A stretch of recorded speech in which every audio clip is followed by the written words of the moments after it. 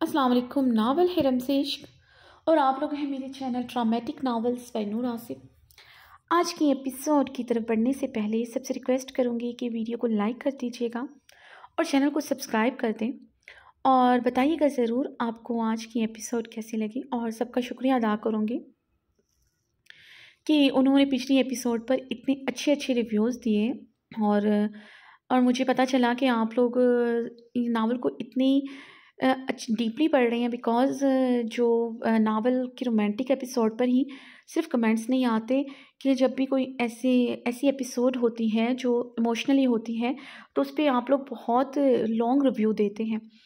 तो उससे पता चला कि रीडर्स सिर्फ़ रोमांस को पसंद नहीं करते रीडर्स बहुत हर चीज़ को इस नावल की पढ़ते हैं, क्योंकि बहुत सारे ऐसे रीडर्स हैं जो ना तमाम एपिसोड को अच्छी तरह नहीं पढ़ते और बहुत सारी चीज़ें मिस कर देते हैं। लेकिन आप लोगों, और अब्रिश के लिए आपका बहुत ज़्यादा पोजेसिव होना भी अच्छा लगा आप सब रीडर्स का। और थैंक्स अलॉट बहुत सारे ऐसे रीडर्स हैं जो इस सिचुएशन को एक रियल रियल करेक्टर से मिला रहे हैं कि बिल्कुल रियलिटी लगती है इसमें। बहुत शुक्रिया। थैंक्स अलॉट नावल को पसंद करने का थैंक्स अलॉट तनकीद करने का एंड थैंक्स अलॉट अच्छे अच्छे रिव्यूज़ देने का। तो जी लाइक करना मत भूलिएगा वीडियो को चैनल को सब्सक्राइब करना मत भूलिएगा। और इस, बढ़ते हैं हम अपनी आज की एपिसोड की तरफ़। इस वाह के साथ कि आप सब जहाँ रहें, हँसते रहें, मुस्कुराते रहें, खुश रहें और सबसे बढ़कर दूसरों के चेहरे पे भी मुस्कुराहटे बखेरते रहें। और अल्लाह पाक हम सबको हासिदों की बुरी नज़र से बचाएँ। आमीन। रमजेश तहरीन नूर आसिफ, किस्त eighty part one. Zaran Khan ज़्यादा इस वक्त गायनाकोलॉजिस्ट के रूम में मौजूद था और इस वक्त शहराम के हॉस्पिटल में मौजूद था। हस्पताल की सबसे सीनियर और specialist gynaecologist Zakia Ivan Abrish की दूसरे रूम में अल्ट्रासाउंड और दूसरे टेस्ट कर रही थी। जरान बेचैनी से बाहर पहलू बदलते इस तराबी अंदाज में चक्कर लगा रहा था। खूबरू संजीदा चेहरे पर बेहद परेशानी थी। वो अपने बच्चे को लेकर बेहद हसास हो रहा था।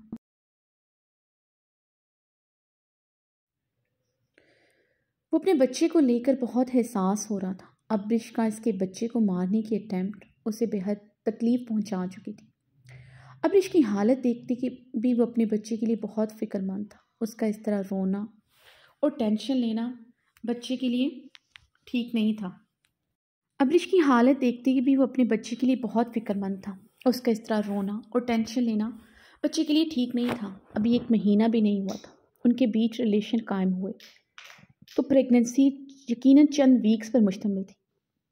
ऐसे में अब्रिश का इस तरह रोना, परेशान होना ये बेहद फ़िक्रमंद कर रहा था। और अब्रिश को बहुत प्यार से डील करने का सोच रहा था। उसकी तमाम इनसिक्योरिटीज़ प्यार से दूर करने का अरादा रखता था। अब्रिश अपना चेकअप करवा कर कमरे से बाहर आई तो जरान जल्दी से अब्रिश की तरफ़ बढ़ा। जो ब्लैक चादर में सर से पैर तक लिपटी थी, चेहरा संजीदा और स्पार था। गुलाबी गाल पर जरान की उंगलियों का निशान अभी तक था।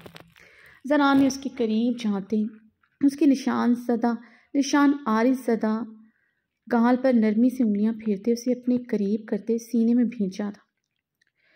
थोड़ी देर मुझसे दूर रही हो जान पर बन आई थी मेरी।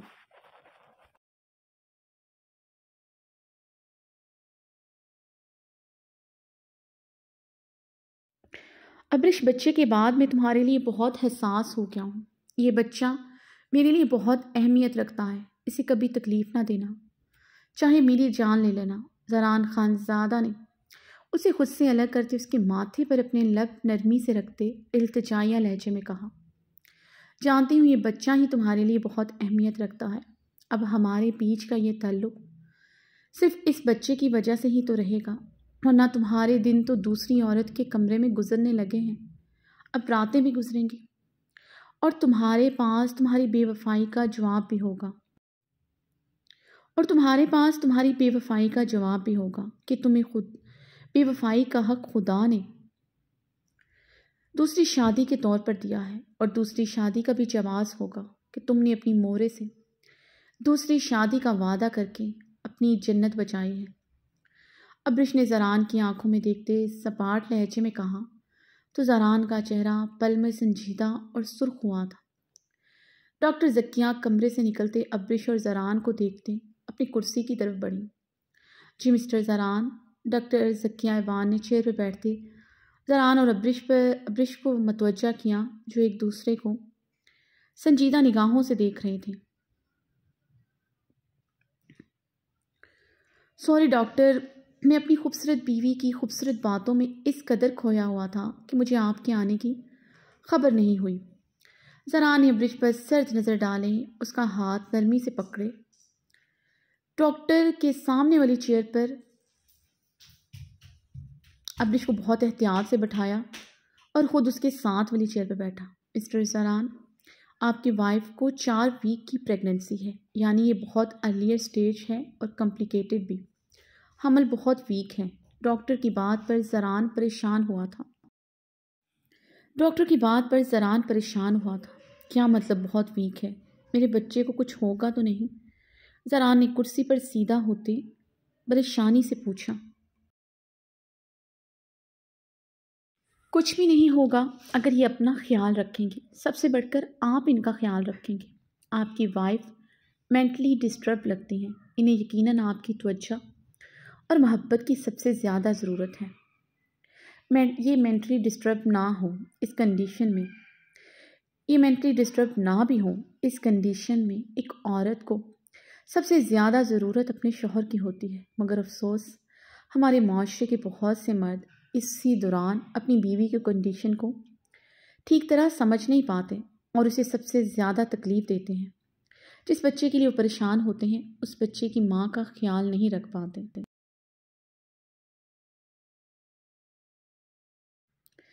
डॉक्टर ने अब्रिश की भीगी निगाहों पर नज़र डालते संजीदगी से कहा, डॉक्टर की बात पर। अब्रिश की आँखें शिद्दत से भीगी थीं। डॉक्टर जकिया ने अब्रिश की भीगी आँखें और उसके गुलाबी आरस पर, उंगलियों के निशान पर गहरी नज़र डाली थी। जरान खानजादा शहराम खानजादा का बड़ा भाई था और जरान की संजीदा और बारोब बारोब शख्सियत को देखते वो वाज अल्फाज में उसे कुछ कह नहीं सकी थी। मगर अब्रिश के गाल पर वाजिया उंगलियों का निशान देख कर कर मगर अब्रिश के गाल पर वाजिया उंगलियों का निशान देख कर वो हैरत ज़दा हो गई थी। शहराम जैसे इंसान का भाई ये हरकत भी कर सकता है। उसे उन्हें यकीन नहीं आ रहा था। उसने रूम में अब्रिश को देखते उसके आरस पर उंगलियों के निशान के मतलब इस्तफसार किया था, मगर अब्रिश जवाबन खामोश रही थी। उसकी खामोशी और स्पार चेहरे को देखते उन्हें उसकी मेंटली कंडीशन के बारे में भी अंदाज़ा हो गया था। अब उसकी और अब उसकी भीगी आँखें देखकर भी यकीन हो गया था उनके सामने बैठा ये खूबसूरत और शानदार कपल। ज़ारी खूबसूरती की तरह अपने रिलेशन में बिल्कुल खूबसूरती नहीं रखता था।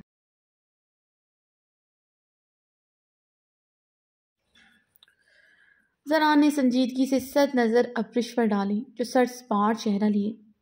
अपनी भीगी आँखें दुपट्टे से रगड़ रही थी। डॉक्टर की बात से वो अंदाज़ा लगा चुका था। डॉक्टर इनडायरेक्टली उसे सुना रही है। अब्रिश का मुतरम सुर्ख, भीगा चेहरा निशार पर उसकी उंगलियों का निशान चीख चीख कर कह रहा था। वो जालिम है उसकी बीवी मजलूम। जरान ज़्यादा को समझ नहीं आ रहा था। आखिर इन दोनों में से, उन दोनों में से मजलूम है कौन?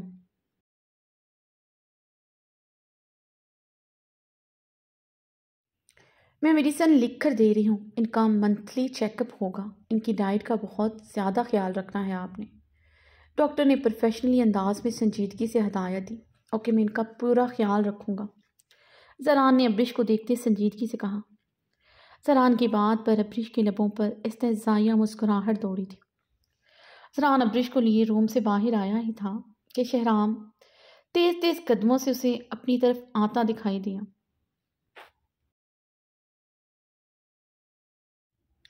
शहराम जरान के करीब आते खुशी से उसके गले लग गया था। जरान उसके चेहरे पर। खुशी को देखते ही भाप गया था। उस तक खबर पहुँच चुकी है। कॉन्ग्रेचुलेशन लाला। शहराम ने जरान से अलग होते खुशी से चहकते कहा। थैंक्स जरान जवाबन भरपूर मुस्कुराया था। लाला, मुझे यकीन नहीं आ रहा। मैं चाचा बनने वाला हूँ। शहराम ने मुस्कुराते हुए अपनी जीन्स की पॉकेट में हाथ डाले थे। अस्सलाम वालेकुम भाभी। शहराम ने अब्रिश को देखते कहा। अब्रिश इस बात में सर हिलाते चेहरा दूसरी तरफ़ मोड़ गई थी जरान गहरा सांस भर कर रह गया था उसके घर वालों में से।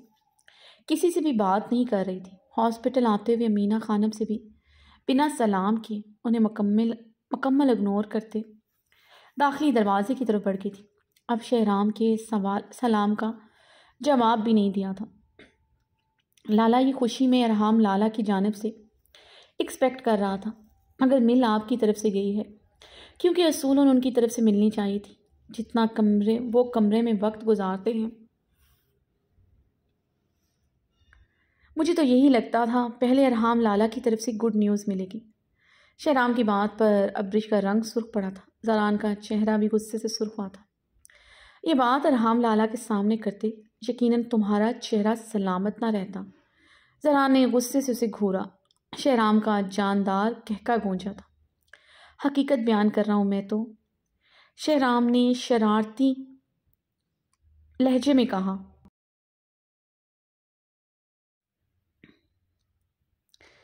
तुम्हारी तरफ़ से भी ये न्यूज़ मिल सकती थी, बशर्ते कि तुम हवेली में पाए जाओ। जरा ने उसे जवाबन शररबार निगाहों से घूरा था। लाला, आप आए, मेरे ऑफ़िस में आए, वहाँ बैठे। मैं भाभी के लिए फ़्रेश जूस मंगवाता हूँ। शहराम ने बात बदलते कहा नहीं शहराम मुझे हवेली जल्दी जाना है। मोरे इंतज़ार कर रही होंगी, उन्हें अभी कुछ नहीं बताया। हवेली जाकर उन्हें भी ये खुशखबरी सुनानी है जरान अब्रिश पर गहरी नज़र डालते हुए। बोला,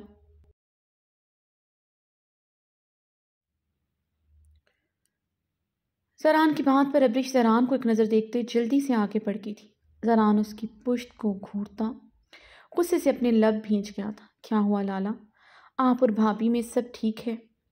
शहराम ने परेशानी से कहा। अब्रिश का सर्द सपाट चेहरा शहराम को भी परेशान कर गया था। बिल्कुल ठीक है, और आज रात तुम हवेली में होने चाहिए अपने कमरे में। ये लास्ट टाइम मैं तुम्हें कह रहा हूँ, दोबारा नहीं कहूँगा। हॉस्पिटल आकर मैं सबके सामने। तुम्हारे चेहरे का हशर बिगाड़ दूँगा। तुम बहुत बड़े आदमी होगे मगर मेरे लिए तुम सिर्फ़ शहराम हो, आइंदा तुम्हें यूँ। हवेली और इसके मकीनों से लापरवाही बरतना ना देखूँ, वहाँ सिर्फ़ तुम्हारी बीवी ही नहीं, तुम्हारी मोरे और एक बहन भी रहती है, और मोरे को तुम्हारी बहुत ज़रूरत है। जरान ने काफ़ी सख्ती से कहा, जी लाला, जैसे आप कहें। जरान की बातों पर शहराम ने अपनी हल्की घनी भेड़ पर हाथ फेरते संजीदगी से कहा था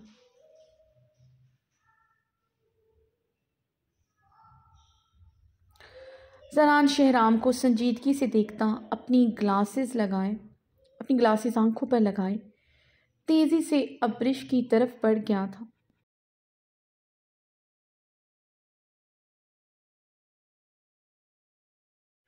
असवन स्याह शलवार कमीज़ में मलबूस स्याह ही शॉल कंधों पर डाले, सीढ़ियाँ उतरता नीचे आया था। इस वक्त लाउंज में अमीना खानम, रोजीना खानम, पलविशा मौजूद थी।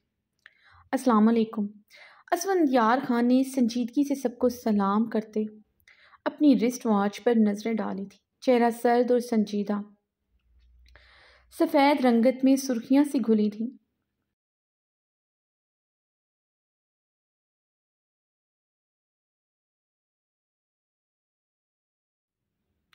पिछले कुछ दिनों से हवेली नहीं आया था, कल ही आया था।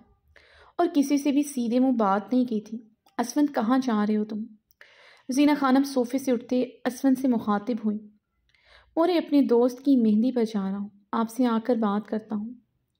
वो संजीदगी से कहता, उजलत भरे अंदाज में, दाखिली दरवाजे की तरफ़ तेज़ी से भरा था। यकदम दाखिली दरवाजे पर वो सहराना आँखों वाली से टकराया, जिसकी वजह से वो पिछले एक हफ़्ते से सोया नहीं था।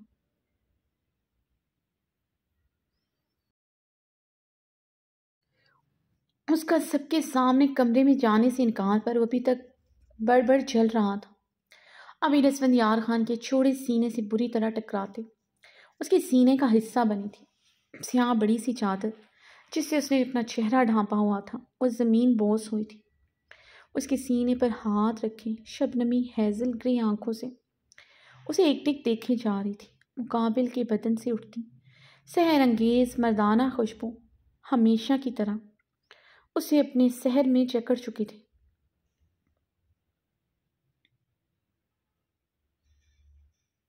और ये नीली आँखें तो जानलेवा अजाब थी। ये एक हफ़्ता उसने कैसे गुजारा था वही जानती थी कहाँ और किसके साथ होगा। वो कांटों पर जैसे रातें गुजार रही थी। असफंद को देखते वो भी स्टिल हुई थी। पूरे एक हफ़्ते बाद इस सितमगर को देखा था। हैजल ग्री आँखों में गहरे शिकवे थे। वो हवेली ही नहीं आया था। उसने एक हफ़्ता जा, जा जलते सिलकते हुए गुजारा था। जैसे पलके झपकने पर ख्वाब की तरह आँखों से ओझल हो जाएगा। उसकी हैजल ग्रे आँखों में। शिकवे और नमी देखते हैं असवन यार के जलते तड़पते दिल पर फुहार सी पड़ी थी। अगर बेचैन वो था हो रहा था तो मुकाबिल भी सुकून में ना थी। असवन गहरी निगाहों से उसे देखा जो सी ग्रीन की जो सी ग्रीन कलर की वेलवेट की लॉन्ग फ्रॉक में मलबूस थी, जिसके गले पर काम हुआ था। और उस पर खूबसूरत कामदार दुपट्टा उसने सीने पर फैलाए हुए कंधों से अटैच किया हुआ था। सुनहरी लंबे सिर के बाल खुले हुए थे, गले में चोकर पहना हुआ था, आँखों पर स्मोकी मेकअप किया हुआ था। होठों पर न्यू लिपस्टिक लगाए, वो बेतहाशा, हसीन लग रही थी। अभी रसवन यार खान को, अभी भी एक टिक देखे जा रही थी स्याह शलवार कमीज़ में। बेानतहा मगरूर लग रहा था, उसकी पर्सनैलिटी पर। स्याह रंग बहुत जचता था, और यह आबिर से बेहतर कौन जानता था? उसके बस में होता। तो इस मगरूर इंसान पर स्याह रंग पहनने पर भी पाबंदी लगा देती जो इसके दिल में हमेशा की तरह इस सियाल लिबास में गहरे वसवसे जगा चुका था। आबिर असफन यार खान को देखते उससे अलहदा हुई। मुकाबल भी उसे खुद से अलहदा कर चुका था। आबिर ने नीचे झुकते अपनी शॉल ज़मीन से उठाई थी। नीचे झुकते पर उसके नशेबो फराज नमाया जिसे देखता असफंद अपने लब भींच गया था। वो शाल खुद पर अच्छी तरह ओढ़ते अपना चेहरा छुपाने लगी। असमा ने उसकी चूड़ियों से भरी कलाई पकड़ते अपने कहाँ जा रही हूँ? असमा ने उसे अपनी करीब करते सर लहजे में पूछा। मैं अपनी दोस्त गुलाली की मेहंदी पर जा रही हूँ। आबिद ने जवाबन? संजीदगी से कहा।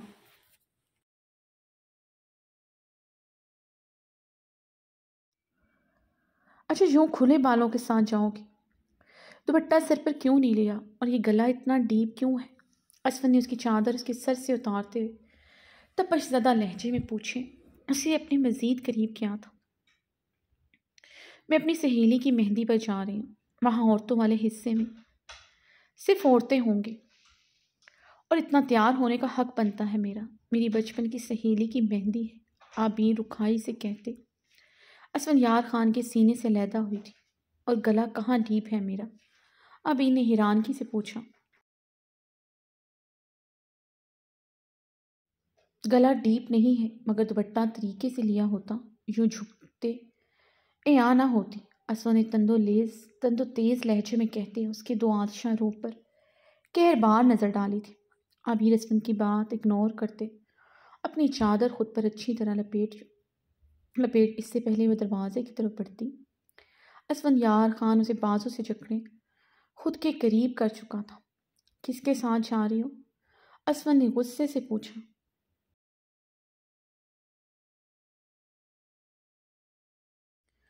मैं लाला के साथ जा रही हूँ। आबी ने से खुद से दूर धकेलते इस मार भी रखाई से जवाब दिया असवन यार खान का पारा हाई हुआ था। इससे पहले वो कुछ कहता, ज़रा दाखिली दरवाज़ा खोल कर अंदर दाखिल हुआ। असवन यार खान के सर सुर्ख चेहरे पर एक नज़र डालते, आबिर की तरफ़ बढ़ा। बहुत खूबसूरत लग रहा है मेरा बच्चा। ज़रा ने आबिर की पेशानी पर नरमी से लब रखे थे। शुक्रिया लाला। आबिर ने कहती अपनी चादर से अपना चेहरा ढका और जरान के हिसार में बाहर की जाने बढ़ गई थी। कहरबान निगाहों से जरान की चौड़ी पुश्त को घोरा था। असफन यार खान और जरान अपने दोस्त रगजई की मेहंदी पर इकट्ठे ही पहुँचे थे। अबीर औरतों वाले हिस्से की तरफ़ बढ़ गई थी। असफन की नज़रों ने दूर तक आबिर का पीछा किया था। तरकजई खान, असफन और जरान को देखते ही हवाई फायरिंग शुरू कर दी थी। बाकी दोस्तों ने भी शदीद हवाई फायरिंग शुरू कर दी थी। असफंदियार खान और जरान खान ज़्यादा को देखते खरमो खुशी और गर्मजोशी का इजहार किया गया था। जरान और असफन मुस्कुराते हुए अपने दोस्तों को देख रहे थे। दोनों ही स्याह लबास में स्याह शॉल कंधों पर डाले खड़े दूसरे की परछाई लग रहे थे। दोनों ने मुस्कुराते हुए अपनी गनी पेट पर हाथ फेरा था। दोनों हम कदम ही अपनी दोस्तों की तरफ़ बढ़े थे। असमन यार खान के कदम शकदम रुके थे। जरान ने रुकते हुए एक नज़र उसे देखा था। फिर वो तेज़ तेज़ कदमों से अपने दोस्तों की तरफ़ बढ़ गया था।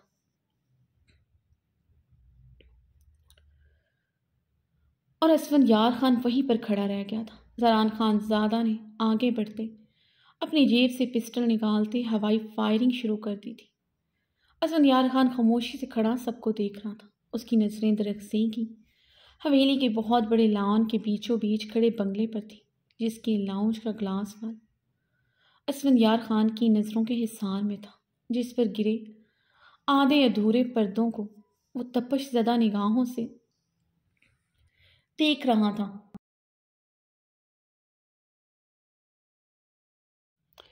द्रगजई और उसकी फैमिली बहुत मॉडर्न थी। इनमें पर्दा था, मगर इन लोगों जैसा नहीं था। और तो वाली साइड पर उनके घर के कुछ मर्द आ जा रहे थे। असवन यार खान को हवेली से निकलते अंदाज़ा नहीं था, गुला लई द्रगजई की दुल्हन है। वरना वो आबिर को कभी यहाँ ना आने देता, गुला लई और द्रगजई आपस में कज़न थे, बचपन से निकाह हुआ था। द्रगजई ने अमेरिका से पढ़कर आने के बाद शादी हो रही थी और गुला लई आबिर की बचपन की सहेली थी।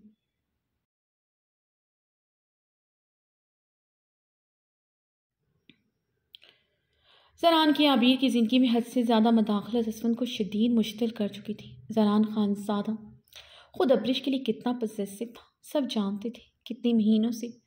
अब्रिश एक मरतबा भी उसके सामने नहीं आई थी, उसे देखते ही उल्टे कदमों पलट जाती थी। यकीनन जरान ने उसे सख्ती से मना कर रखा था। उस दिन लड़ाई में भी अवरिश को जरा ने सर नज़रों से घूरते अपने करीब नहीं आने दिया था। वो सी टाइम समझ गया था। जरा नहीं चाहता था, गलती से भी उसकी नज़र अब्रिश पर पड़े। ये बात असफन यार खान के लिए तकलीफ़ का बायस भी थी। दुश्मनी अपनी जगह, मगर वो मर कर भी कभी किसी की इज़्ज़त पर बुरी निगाह नहीं डाल सकता था। मगर जरान आज तक अब्रिश की से निकाह करने वाली उसकी बात भूला नहीं था। और जरान उसकी बीवी को लेकर वो खुद फैसले करता था। जो इस वक्त यार खान का खून भड़का देते थे आबिर पर किसी का भी हक बर्दाश्त नहीं होता था। असमन एक तरफ़ खड़ा अपने दोस्तों को देख रहा था। वो लोग जरान खान ज़्यादा के आने पर बेतहाशा खुश थे।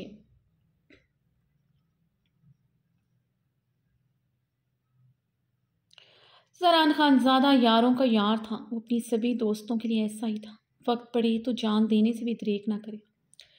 कुछ अर्सा पहले वो इसके लिए भी ऐसा ही था। उसके लिए भी ऐसा ही था। क्या कुछ नहीं किया था। दोनों ने एक दूसरे के लिए। जरान का दुश्मन। असमन का दुश्मन था और असमन यार खान का दुश्मन जरान खान ज़्यादा का आज ज़िंदगी किस मोड़ पर ले आई थी कि वो दोनों एक दूसरे की ही दुश्मन बन बैठे थे। जरान सिर्फ़ अपने दोस्तों के लिए लिए ही नहीं। दोस्तों के लिए ही नहीं, बल्कि अपने हर रिश्ते के लिए ऐसा ही था। हर रिश्ते पर जान देता था।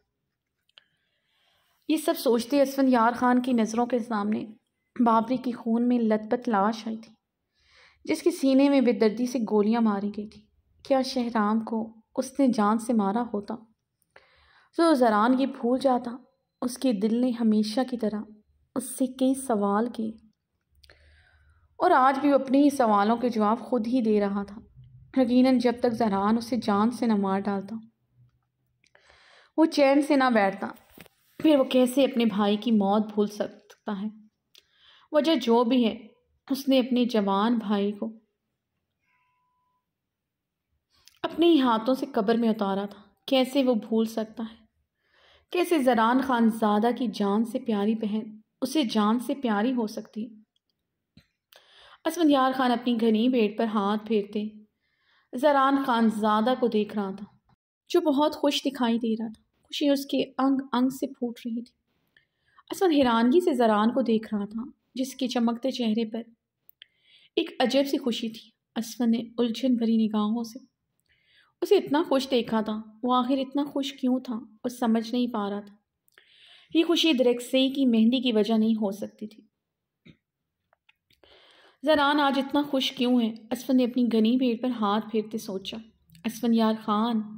दरक्सई खान, असफन यार खान को ऊँची आवाज़ में पुकारते उसकी तरफ़ बढ़ा था। तुम इधर क्या कर रहे हो? क्या अमरीका में रहकर तुम बंदूक चलाना भूल चुके हो? दरक्सई ने असफन यार खान के करीब आते उसे पिस्टल पकड़ाई। असफन यार खान ने मुस्कुराते हुए पिस्टल पकड़ी थी। मुझे बंदूक भी पकड़ना आती है और उसे चलाना भी बखूबी आती है। इनफैक्ट मेरा निशाना आज तक नहीं चौंका चौंका।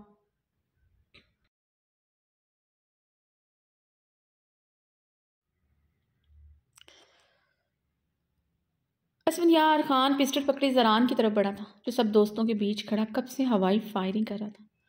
असवन यार, खान को अपनी तरफ़ बढ़ता देखकर उसने फायरिंग रोक दी थी। असवन जरान के करीब आकर रुक गया था। जानते हो ना, मेरा निशाना कितना पक्का है, इस पिस्टल से। जब भी गोली निकली, सीधी एग्जैक्ट इंसान, सीधे एग्जैक्ट इंसान को और एग्जैक्ट मुकाम पर लगी। असवन जरान के सीने पर पिस्टल की नोक रखी थी। जानता हूँ तुम्हारा निशाना बहुत पक्का है और तुम्हारी पिस्टल का निशाना इस वक्त सही मुकाम और एग्जैक्ट इंसान पर है। मगर तुम्हारा हर बार सोच में पड़ जाना मुझे हैरान कर देता है कि क्या वजह है। तुम्हारी पिस्टल से निकली हुई गोली अभी तक सही इंसान को लगी क्यों नहीं? क्यों असवन यार खान जो बोलता है वह करता क्यों नहीं? हम खान कब से खाली खुली धमकियाँ देने लगे? जो जी में आता है कर देते हैं, और ये पिस्टल तो बनी ही उसलिए है। इसकी गोलियाँ अपने दुश्मन के सीने पर एग्जैक्ट मकाम पर उतार दी जाएँ। जरा ने मुस्कुराते हुए अपनी पिस्टल असवन के सीने पर जमाई थी। सब दोस्त परेशानी से उन दोनों को देख रहे थे। वो दोनों ही एक दूसरे को घी घूरते हुए एक दूसरे के सीने पर पिस्टल रखे हुए थे। यकदम जरा ने मुस्कुराते हुए उसी पिस्टल से हवाई फायरिंग की थी। असफल, लब, भींचे जरान को कुछ पल देखता रहा। फिर सुर्ख सर चेहरे के साथ पिस्टल से दो तीन हवाई फायर किए थे। वो पिस्टल ज़मीन पर फेंकता, जरान पर शोला बार निगाह डाले। तेज तेज कदमों से बाहर की जाने बढ़ गया था।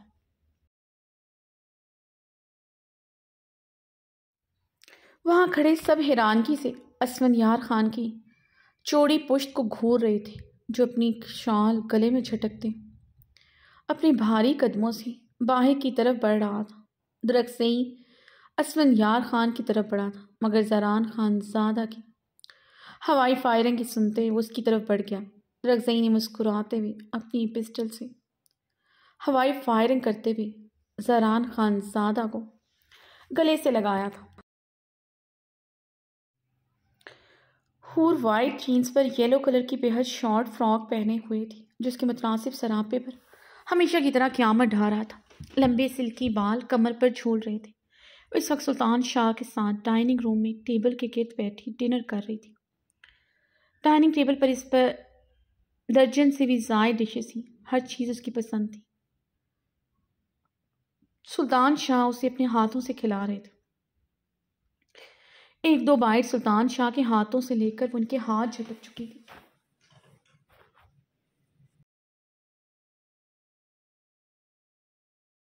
मैं खा लूँगी पापा। इन छह माह में मुझे आदत होगी खुद से खाने की। फ़ूड ने स्मार्ट लहजे में कहा, इन छः माह में तुम्हें अरहाम ने कभी खुद से खाना नहीं खिलाया।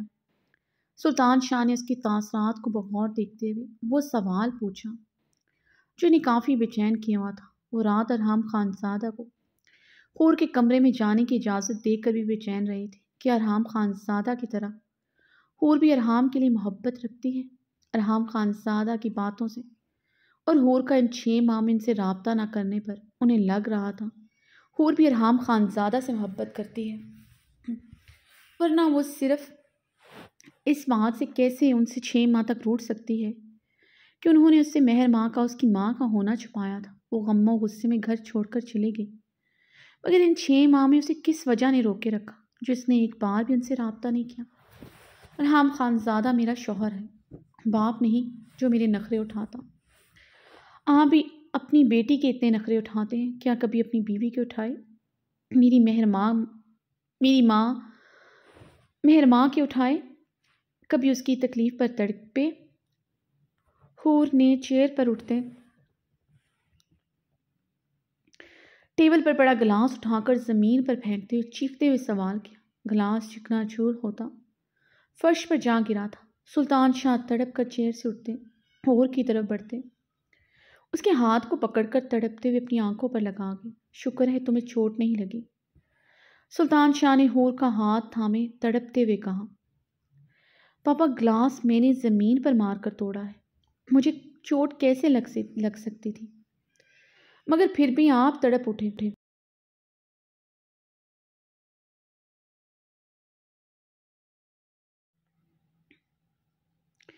ऐसा इंसान जो अपनी बेटी से इतना प्यार करता, वो अपनी मोहब्बत को कैसे तकलीफ़ दे सकता है? फिर क्यों पापा मेरी माँ को मुझसे जुदा कर दिया? उन्हें क्यों तकलीफ़ दी? उन्हें सुल्तान शाह से रोते हुए सवाल किया। मैंने उसे कभी कोई तकलीफ़ नहीं दी। तुम्हारी पैदाइश के वक्त मेहर माँ की डेथ हो गई थी। मैंने उसके मरने के बाद तुम्हारी खातर माजवीन से शादी कर ली थी। सुल्तान शाह होर की आँखों में आँखें गाड़े, सपाट लहजे में बोले थे और सुल्तान शाह की बात सुनते अपना रुख पलट गई थी। कुर्सी को थामे अपनी लर्जाहट पर मुश्किल काबू पाया। आँखों से आँसू टूटकर रुख पर बरसे थे। दिल में एक मुहिम सी उम्मीद थी, जो महाजबीन ने उसे बताया, वो झूठ भी हो सकता है। सुल्तान शाह ऐसा नहीं कर सकता, वो कत्ल नहीं कर सकता, वो मेहर माँ को नहीं मार सकता। मगर सुल्तान शाह आज महाजबीन की बात पर यकीन की आखिरी मोहर लगा चुका था। वो अपनी छः माँ की तस्वीरें मेहर माँ के साथ देख चुकी थी। सुल्तान शाह उससे झूठ बोल रहा था। यानी मेहर माँ को उसके बाप ने ही मारा था। सुल्तान ने इसके लरसते बदन को देखते इसके कंधे पर नरमी से हाथ रखा, जिसे होर ने गुस्से से छटक दिया। होर, मेरे साथ ऐसा सलूक क्यों कर रही मेरा कसूर सिर्फ़ इतना था कि मैंने तुमसे हकीकत छुपाई कि माजवीन तुम्हारी सगी माँ नहीं है। इतनी सी बात पर तुम घर छोड़कर चली गई। अपने बाप को तुमने जीते जी मार दिया। क्यों ऐसा किया तुमने? तुम जानती थी तुम मेरा जीने का वाहि सहारा। क्यों मुझे जीते जी मारा? सुल्तान शाह हूर के मुकाबिल आए थे।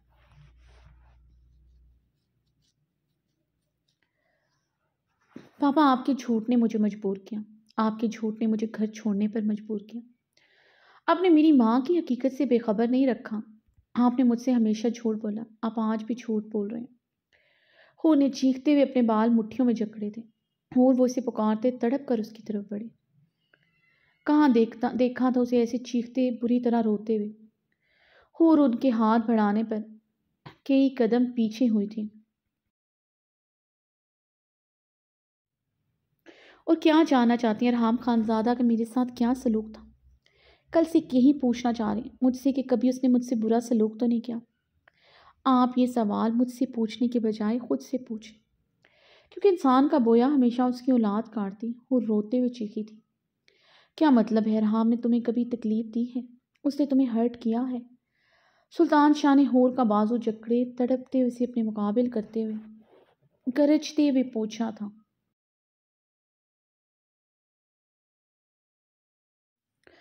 देखा, पापा, आपने अपनी बात का खुद ही जवाब दे दिया। आपने मेरी बात पर यह क्यों नहीं कहा कि होर मैंने कभी गलती से भी किसी को तकलीफ़ नहीं पहुंचाई? तो फिर मैं मैं अपनी बेटी को कैसे तक, मेरी बेटी को, कैसे तकलीफ़ पहुँचा सकता है? मगर आपने तो तड़पते हुए रहाम ज़्यादा के जुल्म के बारे में मुझसे सवाल कर डाला। बताएँ पापा आपने मेरी माँ के साथ क्या किया था? बताएँ पापा, आपने हमेशा मुझसे झूठ क्यों बोला? बताएँ पापा, आपने माँ जबीन को अपनाने के बाद भी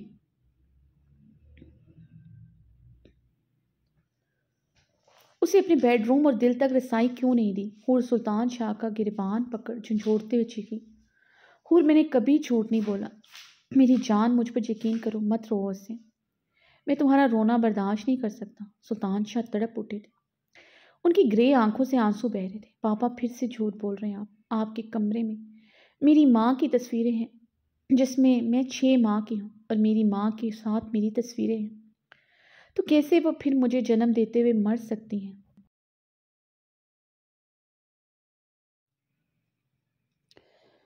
क्या छुपा रहे हैं पापा? क्या आपने मेरी माँ के साथ क्या किया आपने मेरी माँ होरी ज्यानी चीखी थी। और सुल्तान शाह बेबसी से उसे देख कर रह गए थे। उन्हें माँ ज़मीन ने बताया था। हूर ने कमरे में मेहर माँ की तस्वीरें देखी थी। मगर वो ये बात इस वक्त भूल गए थे।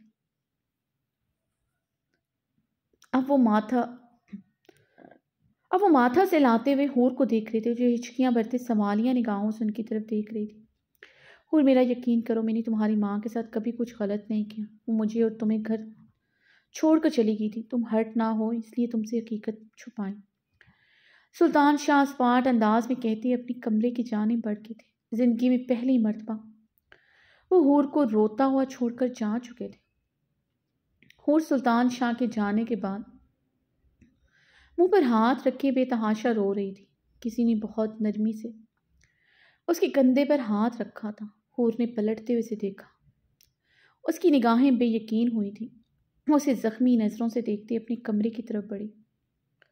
उसी कलाई से जकड़े, अपने मुकाबिल करते, अपनी सुर्ख भीगी आँखें, उसकी गुलाबी आँखों में गाड़ चुका था। जरान रात के वापस आया तो ब्रिश बेड क्राउन के साथ टेक लगाए, आँखें मोदे बैठी हुई थी। वो सुबह वाले ड्रेस में मलबूस थी। बल्कि गुल वाली ब्लैक फ्रॉक में मलबूस थी। जरान गहरा सांस भरते। अपनी शॉल सोफे पर रखते उसके करीब जाकर बैठा। उसके गाल पर नरमी से उंगलियाँ फेरते। अपने लब नरमी से उसकी आरिस पर रखे थे।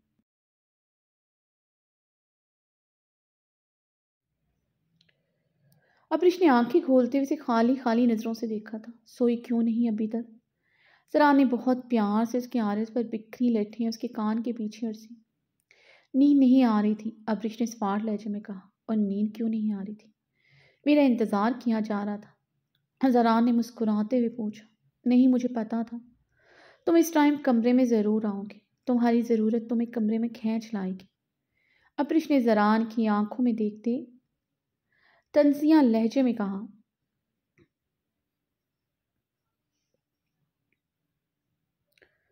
अब्रिश की बात का मतलब समझते जरान के लब भींचे थे मगर वो अपनी आईब्रो उंगली से मसलते खुद पर काबू पा गया था। तो इससे यही साबित होता है मेरी ज़रूरत।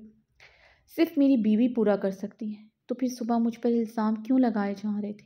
ज़रा ने उसकी गुलाबी लबों पर नरमी से अंगूठा फेरते संजीदगी से इस्तफसार किया। हम्म, इसी सबूत पर जो तुम्हारी शॉल पर मौजूद था अब्रिश ने उसका हाथ छटकते जो अबन सिसकी भरते हुए कहा। बाज़ात वो सच नहीं होता अब्रिश जो दिखाई दिया जाए।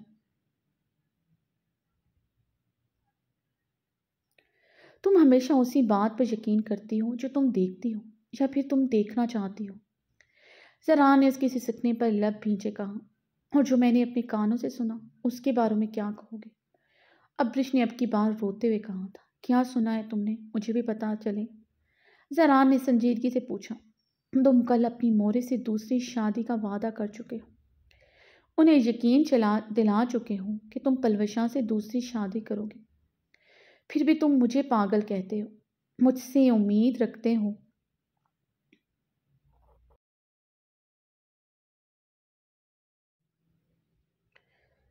मुझसे उम्मीद रखते हो, मैं तुम्हारी शाल पर वो निशान देखते हुए भी तुम पर यकीन रखूँ। तुम सुबह अपनी कज़न के बेहद करीब खड़े होकर गॉसिप करते हो।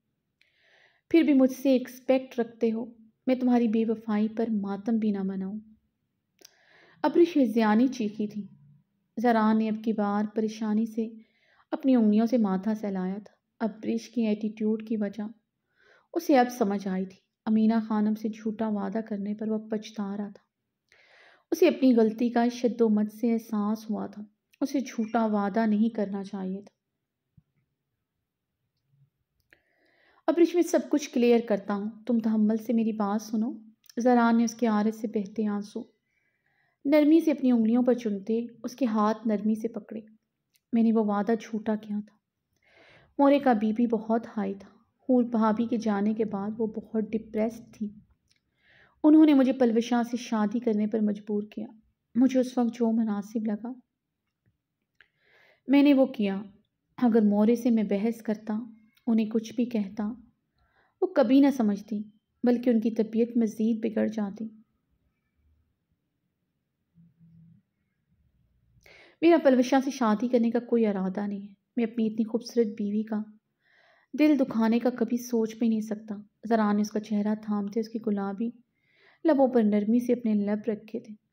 और अब तुम्हें ये बच्चा झूठ बोलने पर मजबूर कर रहे जिस तरह कल तुम अपनी मोरे को बहला रहे थे। इस तरह आज मुझे बहला रहे हो। क्यों किया जरान तुमने झूठा वादा? क्यों नहीं कहा कि तुम सिर्फ़ मुझसे मोहब्बत करते हो?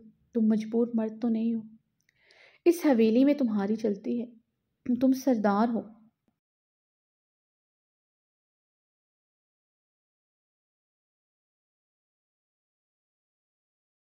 फिर भी तुमने मजबूरी क्यों दिखाई? मर्द कभी मजबूर नहीं होता। अब्रिश ने सिसकी ली थी। होता है, मजबूर, मर्द भी मजबूर होता है। अपने जान से प्यारे रिश्तों के आगे वो भी मजबूर हो जाता है। जरान, गहरा सांस भरते का। नहीं जरान, तुम मजबूर नहीं थे। तुम्हारे दिल में छोड़ था जरान। तुम यहाँ के मर्दों की तरह दो दो शादियाँ करना चाहते हो। मेरा वजूद तुम्हारे लिए कोई मायने नहीं रखता। एक माह में ही तुम्हारा दिल मुझसे भर चुका है। अमरीश चटकते हुए बेबसी से बोली जनान ने उसके हाथ नरमी से थामे, उन पर लब रखे। मेरा दिल तुमसे कभी नहीं भर सकता। क्या तुम्हें मेरी जुनूनियत? शिद्दतों में कमी लगती है जो तुम ऐसे कह रहे हो। जरा हम्म? ने करीब होते उसकी गर्दन पर अपनी उंगली ट्रेस की, जो कल की उसकी शिद्दतों से जामनी हुई थी। जरा ने उसकी गर्दन पर अपने दहकते लब रखे। पलविशा को बहुत जल्द उसके घर भेज दूँगा। कुछ अर्सा बर्दाश्त कर लो।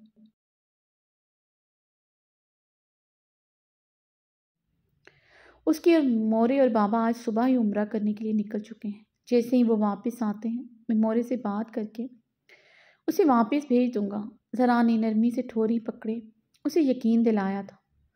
ओह तो शुक्राने के तौर पर अपनी बेटी की शादी यहाँ के सरदार से तय होने पर उम्र करने गए हैं। अब तंजिया मुस्कुराई थी। अब्रिश तुम्हें मुझ पर यकीन नहीं है? जरान ने संजीदगी से पूछा था। उसके चेहरे पर अब बाकायदा गुस्से की झलक नमोदार हुई थी।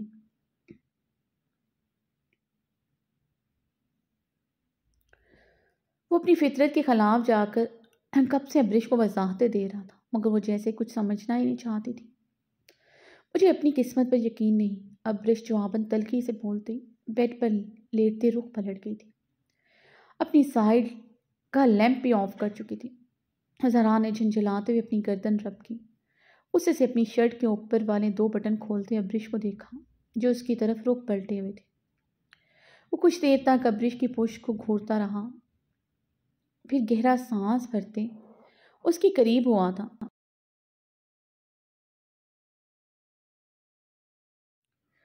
क्यों सताती हो मुझे? एक महीना हुआ है हमें करीब आए हुए, फिर भी मुझसे सदियों के फासले पर रहते हो। ये अदाएँ, ये नखरा इसलिए क्योंकि तुम जानते हो, तुम्हारा शोहर बेवफाई से ही। मगर रात के इस पहर सिर्फ़ तुम्हारे ही करीब आता है। उसे सिर्फ़ अपनी अब्रिश की ज़रूरत पड़ती है। उसे कंधे से थामे सीधा कर चुका था। गलत नहीं कहती, तुम कितनी देर से कमरे में आए अब्रिश ने भीगे लहजे में उसे जताया था। उसके शिकवे पर जरान के लबों पर मबहम से मुस्कुराहट दौड़ी थी। उससे शदीद मोहब्बत करती थी। उसके हर अंदाज से ज़ाहिर होता था, वो उसके लिए बेानतहा पोजेसिव उसके लिए उसका बेानतहा पोजेसिव होना भी उसकी शिद्दत को ज़ाहिर कर रहा था। कल से उसके चेहरे पर वीरानियाँ और जर्दियाँ घुल चुकी थी। आबिर को अपनी सहेली की मेहंदी पर जाना था और मेरे दोस्त की भी मेहंदी थी। अब तुम बताओ, आबिर को अकेला तो नहीं बेच सकता था? तुम्हारे सामने कितने फ़ोन आए थे दरख्त से ही थे। तुम्हें खाना खिलाकर मेडिसिन देकर गया था। तुम्हारी इजाज़त से ही गया था, बल्कि तुमने कितने तंज के तीर चलाए थे। तुम्हारी जली कुटी बातें सुनकर ही इस कमरे से क्या था। ज़रा ने इसके शिकवे पर मुस्कुराते हुए इसकी नाक की टिप पर नरमी से लब रखे साबित होता है, मैं तुम्हारी प्रायोरिटीज़ में सबसे आखिर में आती हूँ। आज इस बच्चे की वजह से तुमने मुझे मार्जिन दे दिया, वरना तुम इस कमरे से बाहर रहना अपनी वरदान की समझते हो। सबको बताना भी तो ज़रूरी है, तुम्हारी बीवी। तुम्हारे लिए कोई अहमियत नहीं रखती। अब कृष्ण उसे खुद से दूर तक खेलते कहा? तो मेरी प्रायोरिटीज़ में सबसे ऊपर हो। ये साबित करने के लिए क्या करना पड़ेगा? जरा ने खुद पर कब काबू पाते सबसे पूछा। उसका बार बार खुद से दूर तक खेलना, उसे गुस्से में उतला कर रहा था। ये साबित करने की ज़रूरत नहीं पड़ती ज़रान। ये तो दिल से महसूस किया जाता है। तुम्हारा रवैया मुझे समझाता है, मैं तुम्हारे लिए कोई अहमियत नहीं रखती। मगर फिर भी तुम चाहते हो साबित, फिर भी तुम साबित करना चाहते हो तो मुझे तुमसे कुछ चाहिए। अब ऋषि से पीछे करते हुए उठकर बैठी थी।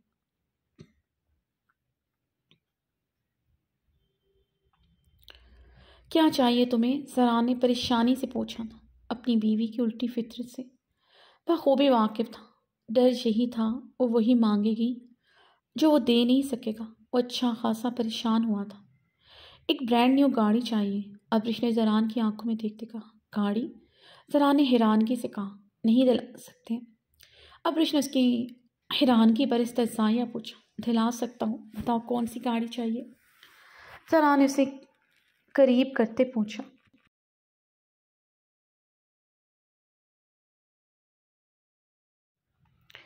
सबसे महँगी गाड़ी चाहिए। इतनी महँगी हो, हवेली में किसी के पास ना हो, बचपन की ख्वाहिशात में से। एक ख्वाहिश अपने लिए ब्रांड न्यू गाड़ी भी लेना थी, अगर जब गाड़ी मिली तो सेकंड हैंड गाड़ी मिली। अब चाहती हूँ मेरा मिलियनेर शोहर। मुझे सबसे महँगी गाड़ी दिलाए। अब रिश्ते तंजिया मुस्कुराई थी। आ जाएगी गाड़ी। कल सुबह की रोशनी होने से पहले, मगर तुम क्या करोगी इस गाड़ी का? ज़रा ने हल्की घनी बेट पर हाथ फेरते उलझन भरे लहजे में पूछा। इस कमरे के टेरेस से उस गाड़ी को देखकर खुश हुआ करूँगी, खुद को यकीन दिलाया करूँगी। मैं कितनी खुशकिस्मत हूँ, कार पोच में खड़ी गाड़ी मेरी मलकियत है और ये आलिशान कमरा भी मेरी मिल्कियत है। अब जरान खान ज़्यादा मेरी मलकियत ना भी हो तो क्या फ़र्क पड़ता है? अब्रिश के तंज पर जरान खान ज़्यादा ने अपने जबड़ी पूरी तरह भेजे थे। अब्रिश गाड़ी आ जाएगी। ड्राइवर का इंतज़ाम हो जाएगा।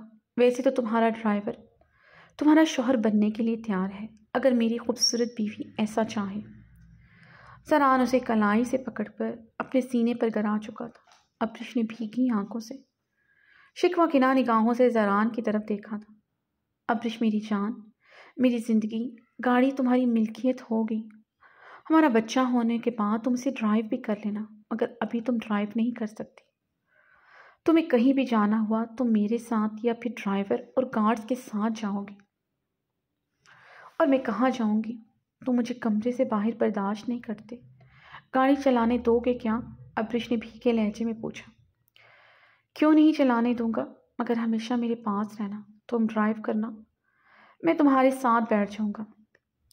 तुम्हारा हाथ पकड़कर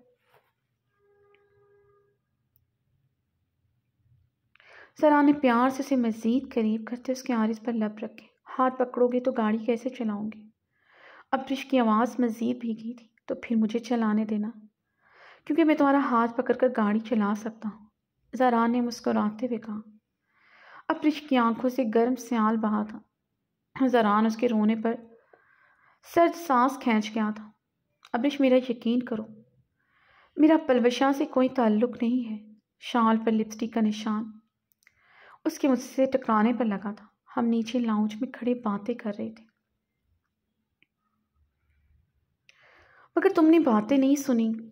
उस, मैं उसे सख्त अल्फाज में खुद से दूर रहने का कह रहा था। प्लीज़ मेरी और अपनी ज़िंदगी मज़ीद मुश्किल ना बनाओ। ये बच्चा तुम्हारा, मेरा नहीं, बल्कि हमारा है। हमारी मोहब्बत की निशानी। वादा करो, तुम उसे कभी नुकसान नहीं पहुंचाओगे। जरा ने अब्रिश की गाल पर नरमी से उंगलियाँ फेरते कहा। अब्रिश ने भीगी आँखों से देखते असबात में सर हिलाया था। जरा ने मुस्कुराते उसे खुद में भींचा। उसने अब की बार उसे खुद से दूर नहीं किया था।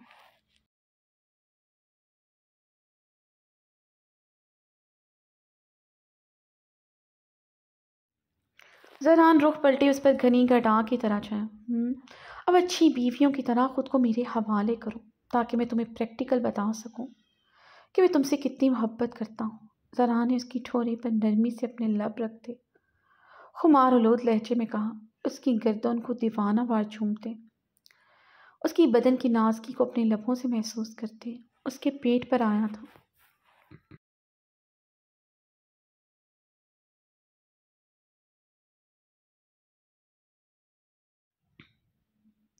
वहाँ बहुत नरमी से अपने लब रखे थे और फिर वहाँ वो अपने लब नरमी से रखता चला गया था। अब्रिश उसकी पुरहिद्दत बोसों की वो छाड़ अपने पेट पर महसूस करते, आँखें मीच गई थी। बंद पलकों की बाढ़ से आँसू तोड़ते आरिस को बकोरे थे जरान बहुत नरमी से। उसके बदन को हर पर्दे से आज़ाद करते, बहुत नरमी से आज उस पर। अपनी शिद्दत निछावर करती, कमरे की तमाम लाइट साफ़ करते कतरा कतरा भीगते रात में। उसे मज़ीद खुद में समेटे, उसे अपनी प्यार की शिद्दत से बगो रहा था।